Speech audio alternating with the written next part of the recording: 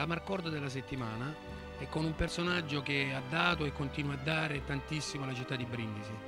Attualmente è il presidente del Brindisi Calcio, naturalmente stiamo parlando di Ubaldo Novembre, ma con lui andremo a ripercorrere il suo Marcord personale e appunto chiederemo eh, da subito quando ha iniziato.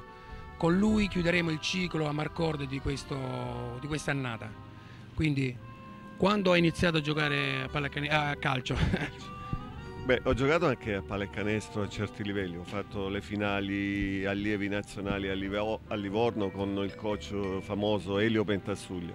Però in quei tempi io facevo sia basket che calcio, ero un ragazzo cresciuto come tanti altri ragazzi d'oggi all'oratorio, ai salesiani. Con me c'era Tonino La Palma, eravamo amici per la pelle, compagni di giochi e di avventure.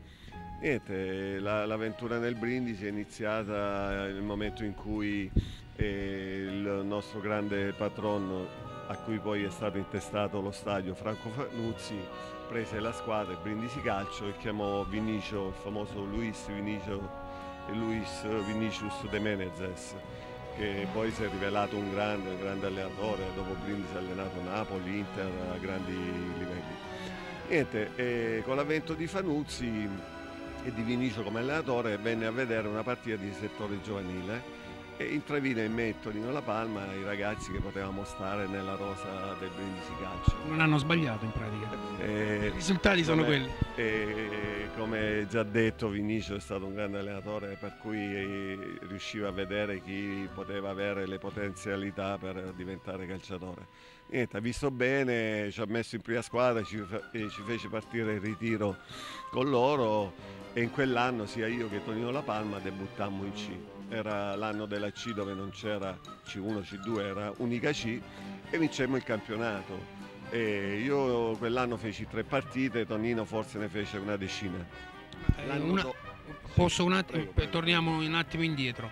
In pratica il ruolo di portiere sì. era innato in lei oppure faceva qualche altro ruolo no, a livello no, calcistico? Io, io, all'inizio ero un grande centravanti, ero bravo il fisico, il fisico, c'è? Sì, sì, ero bravo coi piedi, però allora al contrario di oggi dove il portiere deve essere bravo coi piedi e bravo con le mani, allora dovevi essere solo il portiere e basta, coi piedi si giocava pochissimo, infatti ricordo che avanti a me il mio maestro è stato Di Vincenzo, il famoso Di Vincenzo veniva dalla Sandoria e io ho rubato tutti i segreti diciamo da lui. E quindi... Allenatore a cui è legato maggiormente? Ora, ora eh, spiego la mia storia così poi capirai chi è stato l'allenatore che poi mi ha fatto giocare a, certo, a certi livelli. Niente, Vinicio ci ha dato il lamme a Tonino La Palma nel Brindisi. Poi quando Vinicio andò via a Napoli si portò con lui Tonino La Palma e a Brindisi venne Di Marzio, eh, Gianni Di Marzio, anche lui un grande allenatore. E facemmo un grosso campionato di B, credo di, arrivammo quinti, sesti, non ricordo, e allora era una buona classifica quella. Niente, Di Marzio l'anno dopo andò a Catanzaro in B e mi chiamò con lui, come Vinicio aveva chiamato La Palma a Napoli, Di Marzio mi portò a Catanzaro. In Serie A, no, ah no, prima no, in Serie prima, B, prima sì, in Serie B. Era Serie B e vincemmo il campionato e l'anno dopo giocammo in Serie A. Quindi ha avuto e la lì, possibilità di vivere l'atmosfera della Serie A che... Serie A sono altri sapori, anche se bisogna rispettare la C, la B, però Serie A è Serie A, stare lì in campo, stare a contatto con i zoff, con i gentile, con i facchetti, beh, è tutta un'altra cosa. Chissà se li vivremo mai qui a Brindisi, eh, comunque. Io penso che dovrebbe nascere un altro Fanuzzi. Eh,